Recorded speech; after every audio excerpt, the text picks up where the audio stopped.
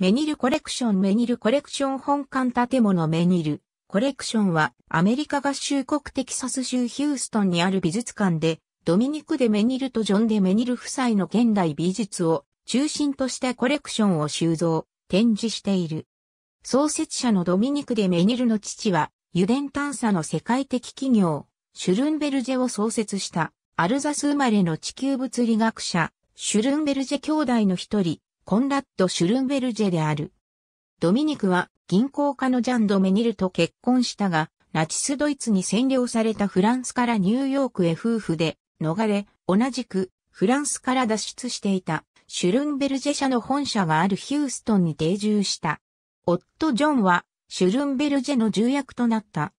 父の遺産を継いだドミニクは数十年にわたり夫妻で美術品を集め夫が1973年に没した後も20世紀美術の作品収集を続けた。油彩画、彫刻、版画、ドローイング、写真、記帳書など、そのコレクションは1万5000点に達する。コレクションの中心は20世紀初頭から半ばにかけてのシュルレアリスム美術や前衛美術の作品群であり、イブ・タンギー、ルネ・マグリット、マックス・エルンスト、マン・レイ、マルセル・デュシャン、アンリ・マティス、パブロ・ピカソらの作品を含んでいる。またジャクソン・ポロック、アンディ・ウォーホル、マーク・ロスコ、ロバート・ラウシェンバーグ、サイ、トゥオンブリーなど、戦後アメリカの抽象表現主義やポップアート作品も幅広く集めている。現代美術以外には骨董品、ビザンティン美術、中世美術、民族美術などについてもまとまったコレクションを有している。メニルコレクションの敷地は、ヒューストン南西の郊外のセントトーマス大学付近にある。周囲は同じような色調の邸宅が並ぶ整った街並みになっているが、これらはデメニル夫妻が少しずつ買い上げて落ち着いた灰色に塗り替え、芸術からに賃貸した家々である。レンゾピアノの設計による美術館本館は1987年6月に開館した。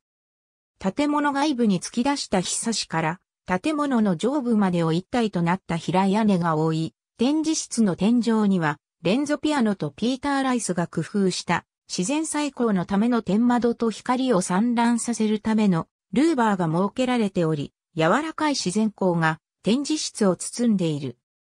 1995年には同じくピアノの設計で、サイト・オンブリー・ギャラリーが開館したほか、ドミニク・デ・メニルの生涯最後の発注作品となった。ダン・フレビンのインスタレーションを展示したリッチモンドホール、北キプロスの利子の聖堂にあったフレスコ画を収めた。ビサンティンフレスコチャペル美術館といった。付属の美術館が周囲にある。また水曜から金曜までの午後に公開されている。図書館もある。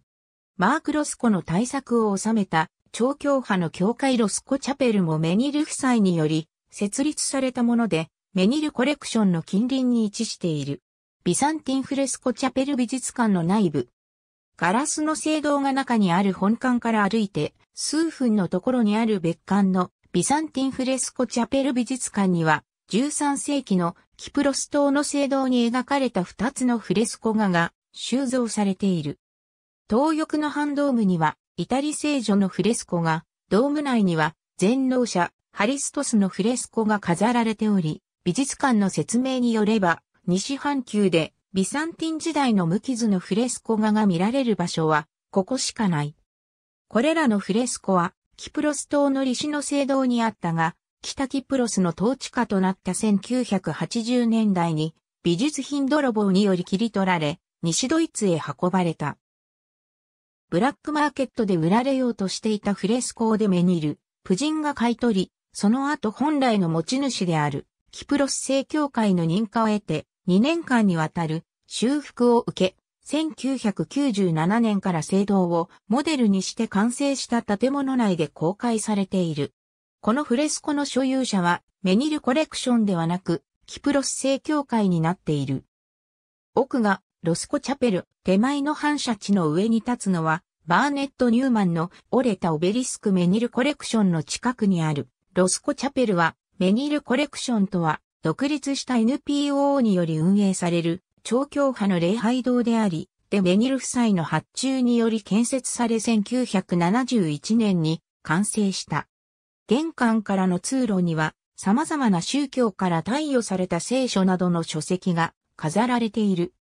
高い天井には天窓があり、光が差し込み、その下には礼拝用の敷物、礼拝者のためのベンチ、瞑想用のクッションなどがあり、あらゆる宗教の人々のための礼拝と瞑想の場として開かれている。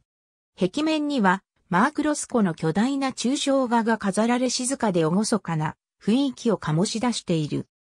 1964年にデメニル夫妻から抽象画に囲まれた無宗派の礼拝堂を作るという相談を受けたロスコは建築にも意を注いだが当初の設計者のフィリップ・ジョンソンと決立し何人もの後継の建築家らと共に設計と絵画制作を続けたがチャペルの完成を見ることなく1970年に自殺した。入り口の南にある反射地の中にはバーネット・ニューマンによる折れたオベリスクの彫刻作品がある。これもデメニール夫妻が購入し設置されたもので、マーティン・ルーサー・キング・ジュニアに捧げられている。ありがとうございます。